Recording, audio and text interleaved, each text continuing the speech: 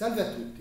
In Regione Toscana abbiamo iniziato a lavorare sulle partecipate e sulle fondazioni e abbiamo deciso di condividere insieme a voi questa nostra analisi, questo nostro studio, anche per farvi capire meglio come funziona. In primis analizzeremo che cosa è cambiato in Italia ehm, in tema di appalto di lavori pubblici, perché prima del 90 eh, c'era un sistema, dopo gli anni 90 ne abbiamo un altro.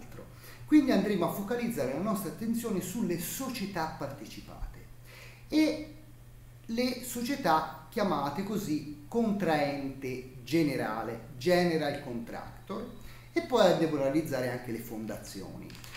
Eh, prima lo faremo un lavoro generico perché è legato a tutti gli organi amministrativi pubblici e poi andremo nello specifico sulla regione toscana con le sue partecipate, molte delle quali sono in rosso, e poi andremo anche sulle fondazioni. È un lavoro grande, però noi crediamo che sia molto comprensibile, basta riuscire a spiegarlo nei termini giusti, io non sono un esperto, non sono un luminare di contabilità, però me la sto studiando e credo che sia possibile farlo capire in modo semplice a tutti, in modo che ognuno possa andare a trovare nel suo paese dov'è il corrotto e il corruttore.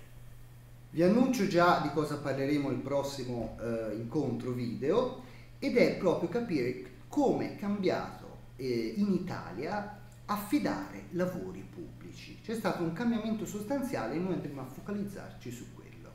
Un saluto a tutti.